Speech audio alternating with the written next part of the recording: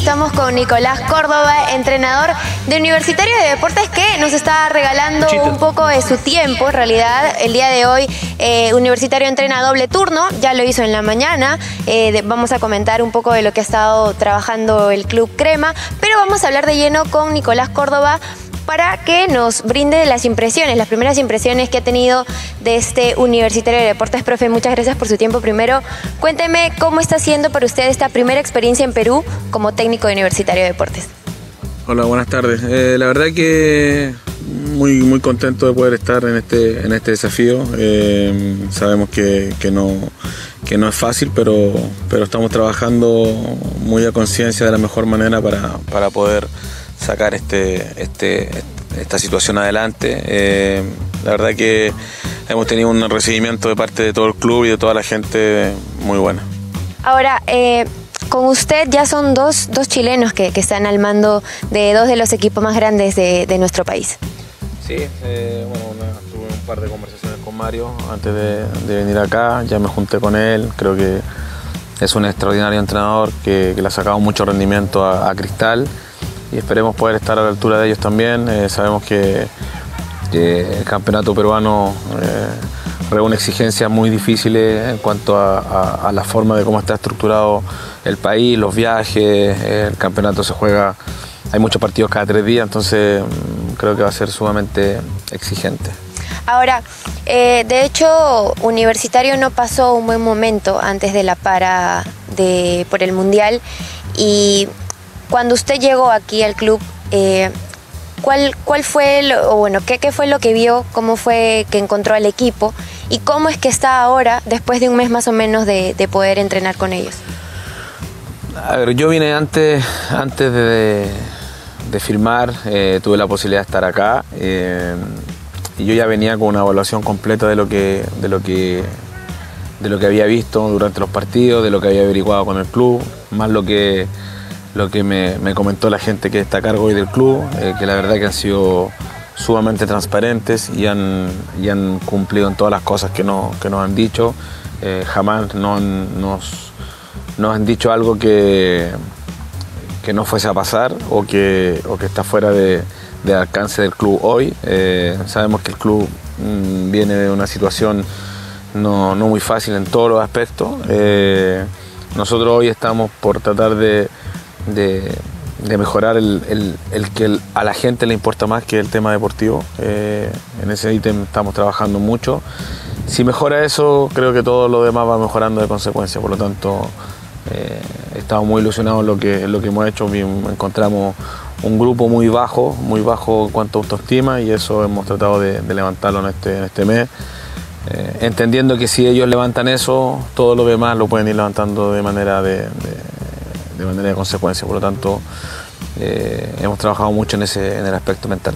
Y conociendo todos esos factores por ahí negativos más que positivos, eh, ¿qué le motivó y qué le incentivó el venir aquí a, a Universitario? Propio de eso, que un club tan grande que, que está pasando por un, por un, momento que no es fácil, cuando eh, tú tienes eh, muchos aspectos que, que no están bien, tienes mucho margen para mejorar y creo que eh, nosotros vamos a ser enjuiciados finalmente por ganar o perder, pero eh, respecto a cuando llegamos, el cambio en ellos mismos ha sido muy grande, eh, así que estamos muy ilusionados en poder, en poder dar vuelta a esta situación a favor, a favor del club.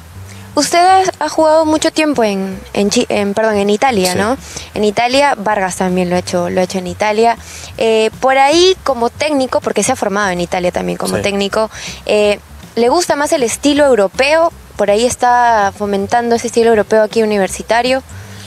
No, finalmente uno enseña lo que aprende y lo que más se va identificando. La, la verdad que, que, a la hora de, de, de, poder ordenar nuestro modelo de juego hemos, hemos sacado cosas de muchos entrenadores, no necesariamente europeos. Sin duda que, que aprendí muchas cosas allá, eh, sin duda que que, tuve la suerte de tener muy buenos entrenadores que, que, me, aprendí, me, que me enseñaron mucho, que aprendí mucho de ellos. Eh, estudio mucho otros, otros entrenadores. Eh, estuve cuando estaba en Chile y fui seleccionador sub-20, tuve la posibilidad de ir a ver a, a los entrenadores que estaban en los mejores equipos en Chile, a Mario incluido cuando estaba en Católica, a, Sierra en Colo Colo. Eh, así que me voy nutriendo de alguna forma de todo lo que me va gustando, lo que voy viendo de otros entrenadores, no necesariamente que sea europeo. Eh, y creo que, finalmente, como lo ha hecho Careca, si uno tiene una estructura de trabajo, tiene muchas más posibilidades de, lograr objetivos. Eh, y eso es lo que tratamos de, inculcar día a día, orden, disciplina, eh, horarios, eh, y que finalmente ellos entiendan que, este es su trabajo, que es un trabajo muy lindo, que muy pocos tienen el privilegio de realizarlo. es el sueño de muchos cuando uno empieza pero el privilegio de muy poco y hay que cuidarlo. Y una de las formas de cuidarla hoy es trabajando eh, profesionalmente, por lo tanto ese yo creo que es lo que más nos preocupamos respecto después. Esto es fútbol y puede jugar muy bien como lo hizo Perú en el Mundial y no la pelota no entra y queda afuera. y puede jugar un poco más mezquino como Francia y salir campeón del mundo. Por lo tanto, no hay un secreto para esto, no hay una, una, una forma única, todos ganan, todos pierden. Lo importante es que uno haga su trabajo consciente de que, de que, de que lo está haciendo lo mejor que puede. Pero prevalece mucho la parte física, ¿no? Porque hemos estado viendo que mientras entrenaba pelota parada, que vamos a hablar de ese tema también más adelante, eh, los jugadores no dejaban tampoco de, fortalecer la, parte física. Sí, nosotros tratamos de trabajar eh, con la inclusión de todos los jugadores, no, cada uno eh, trabajando en sus sectores y, cuando hacemos estos circuitos de, fuerza en cancha, también tratamos de, trabajar en función del partido y de lo que, va a pasar. Eh, ahí hicimos hoy, como vieron ustedes, un, trabajo donde se, trabajaba la fuerza y después se trabajaban los balones detenidos. Eh, no es nada nuevo, finalmente son, son dentro de nuestra semana tipo, tratamos de, de ubicar trabajo eh, en función de lo que va a pasar el fin de semana. Nosotros jugamos contra, contra Neumann, que es lo mejor que tiene el cabezazo, por lo tanto es algo que sí lo tienes que practicar. La, identidad en, en, un, en, un, sistema, en un equipo, es, es muy importante, ¿no? Eh, ¿Para usted la pelota parada es un recurso, es un plan B, o va a ir dentro de su esquema en los partidos? La pelota parada determina partidos. Eh, y creo que es tan importante trabajarla ofensivamente como defensivamente. Eh, en general nosotros vemos videos del rival y vemos cómo se mueven y en función de ello también trabajamos, por lo tanto el, rival nos, entrega mucha información y, siempre hay un par de días a la semana que nosotros trabajamos balón detenido. Y balón detenido no quiere decir solamente los corners y tiros libres.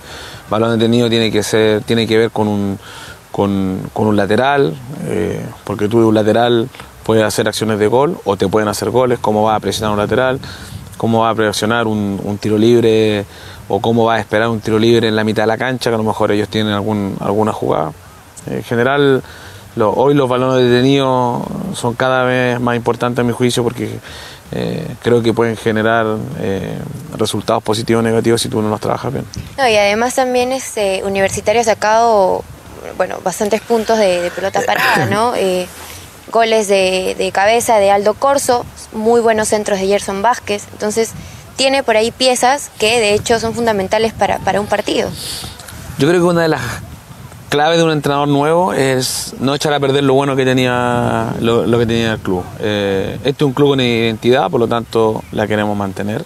Eh, un club que como hemos visto los partidos, sabemos cuáles son las características principales que han tenido como, juego y esas las queremos, las queremos cuidar y obviamente agregar nuestra, nuestro sello con, algunos cambios que tienen que ver con las cosas que más nos gustan. Pero, pero obviamente creo que, nosotros siendo los invitados en esta situación tenemos que, que nosotros adaptarnos más que todo el entorno adaptarse a nosotros. ¿Cómo va la recuperación de, Quintero, profe? Porque sabemos que Quintero es un indicador muy bueno en, la ofensiva de Universitario. Eh, todavía le falta, eh, lamentablemente una, una, situación que es una lesión que no se puede, no se puede apurar porque es una fractura. Eh, por lo tanto, eso tiene procesos tiene procesos naturales que lamentablemente nosotros no tenemos cómo cómo apurar, así que esperemos que esté lo antes posible. Ya depende sobre todo de, cuánto él quiera estar. Pero eh, de hecho es importante la sinceridad entre un jugador y un técnico, ¿no? Eh, ¿Qué es lo que él le ha, manifestado? ¿Sus ganas de seguir en universitario?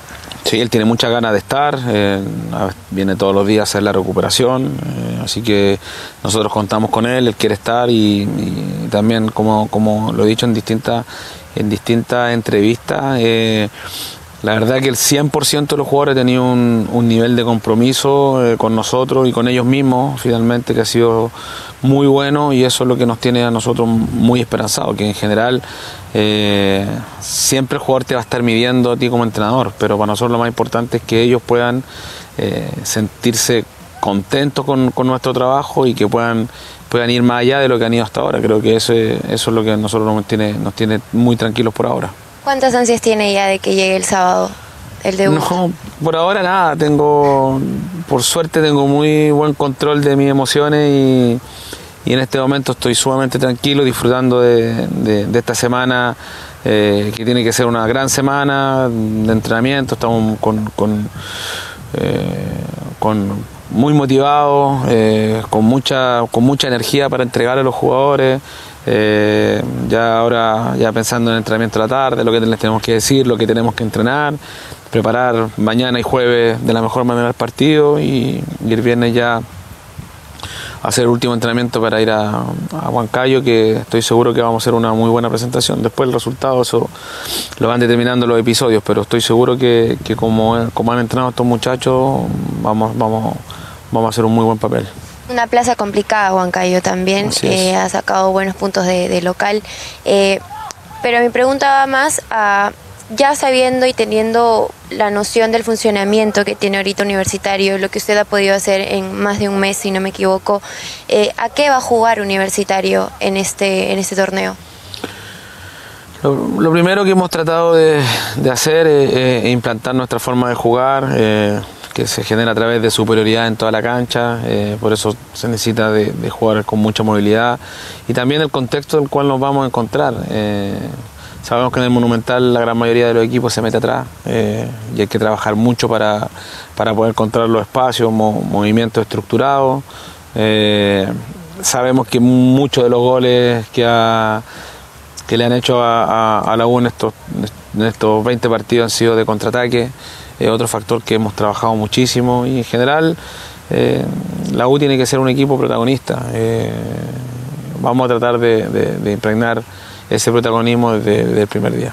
Ahora, profe, ¿qué le puede decir al hincha, al hincha de universitario que de hecho es muy, muy exigente con el técnico y con los jugadores? Ah, está bien, creo que la exigencia va determinada de, de lo que es el club. Este es un club, el club más ganador de Perú, por lo tanto es obvio que tienen, tienen exigencias superiores al resto. Eh, y yo como entrenador, eh, sabiendo que estoy en el club más importante de Perú, en el más grande, eh, tengo que saber que esas exigencias van a llegar y tengo que estar preparado para esa exigencia. así que en ese sentido sé cómo funciona esto y sé que también eh, a la gente le importa mucho que el equipo gane. Eh, vamos a tratar de, lograr eso con nuestra forma y necesitamos de ellos. Es lo único que se les puede pedir. Necesitamos de la gente que vaya a apoyar, que vaya más gente al estadio. Necesitamos que, el, jugador se sienta eh, respaldado y después cuando termine el partido seguramente si, si ganamos, hacemos una buena presentación, la gente nos va a aplaudir y si no ganamos, ellos harán su descargo como un paso en todos lados, no, no solamente acá en la U. Eh, en, todos lados yo he jugado, me ha tocado jugar en Chile, en, Italia y en todos lados pasa lo mismo. Así que hoy está todo muy exigente. Eh, la globalización generó eh, que todo se vea en forma instantánea y que uno pueda opinar en forma instantánea de lo que está pasando. Por lo tanto, eso ha generado que, que, que las exigencias sean mucho mayores.